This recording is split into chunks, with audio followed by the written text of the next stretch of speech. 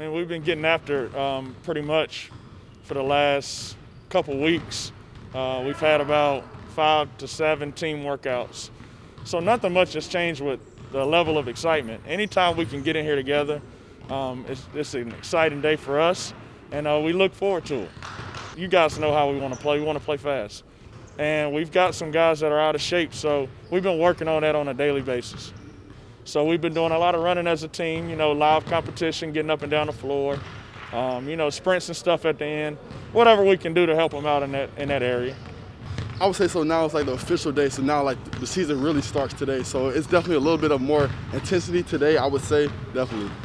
We play really fast pace, so I feel like the cardio is very important, especially since uh, since games are now Saturday and Sunday. So that recovery is gonna be important, and cardio is definitely gonna be important, especially the games are back to back. No, it feels like a regular day.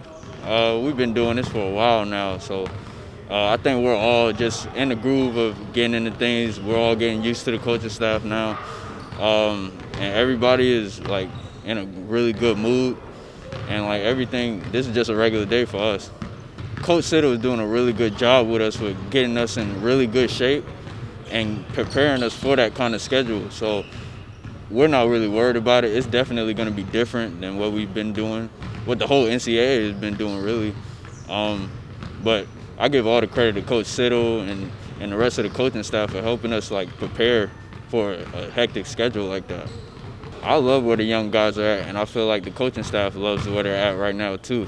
I definitely see them growing each practice, each workout we have. Um, you know, they're they're talking more, feeling more comfortable around us and the coaching staff, and I think I think we're in a good spot as a team.